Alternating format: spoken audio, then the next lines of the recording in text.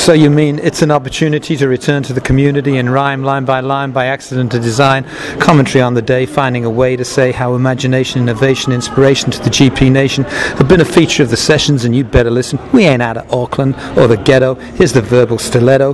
We heard how to make change happen, how to achieve equity, and how it's a lot harder than just saying set my people free. It's about whole system operation involving cooperation, concurrent sessions, learning lessons, techniques, and confessions.